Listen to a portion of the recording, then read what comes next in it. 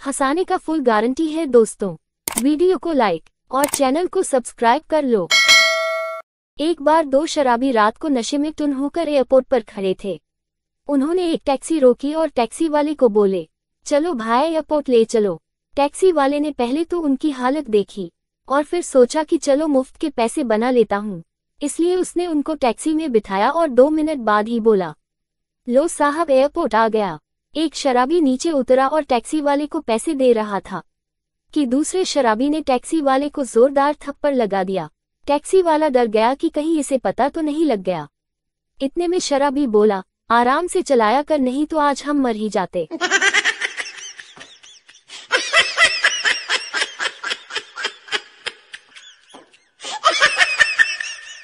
शराब की लत से परेशान एक शख्स डॉक्टर के पास गया और बोला डॉक्टर साहब मेरी शराब छुड़ाओ। डॉक्टर ने पूछा, रोज़ाना कितनी पीते हो? शराबी बोला, चार पैग, डॉक्टर बोला, धीरे धीरे एक पैग कम कर दो। शराबी एक हफ़्ते बाद डॉक्टर के पास पहुँचा। डॉक्टर ने पूछा अब कितनी शराब पीते हो? शराबी ने जवाब दिया, तीन पैग, डॉक्टर ने कहा, अब एक पैगा और कम कर दो। दो हफ़्ते बाद शराबी फिर डॉक्टर के पास गया। डॉक्टर ने पूछा अब कितनी पीते हो मेरे भाई? शराबी बोला सर दो पैगा, डॉक्टर ने बोला। बस अब एक पैगा और कम कर दो। शराबी ने उदास होकर जवाब दिया। सॉरी, डॉक्टर साहब, पूरी बोतल को एक पैगा में तो नहीं खत्म कर सकता मैं।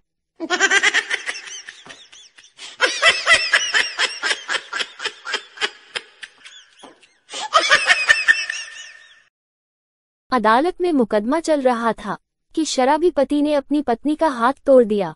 जज के सामने जब पति को पेश किया गया तो उसने सुबकते सुबकते सारी घटना सुना दी।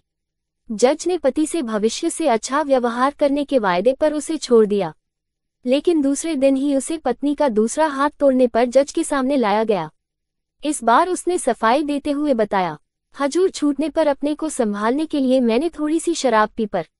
जब इससे भी कोई फ़र्क नहीं आया तो थोड़ी थोड़ी करके मैं दो बोतलें पी गया। दो बोतल शराब पीने के बाद जब मैं घर पहुँचा तो मेरी पत्नी मुझ पर चिल्लाने लगी कि, शराबी, आ गया नाली में लेटकर। हजूर, मैंने अपनी हालत पर गौर किया और सोचा शायद ये ठीक कहती है। इसलिए मैं खामोश रहा। इसके बाद वह बोली, हराम खोर, कुछ काम धंधा भी करा कर। हजूर, मैं इस पर भी मैं कुछ नहीं बोला, पर फिर तो इसने हद ही कर दी और बोली, अगर जज में थोड़ी सी भी अकल होती तो तू अब तक जेल में होता। बस हजूर अदालत की तोहीन मुझसे बर्दाश्त ना हुई।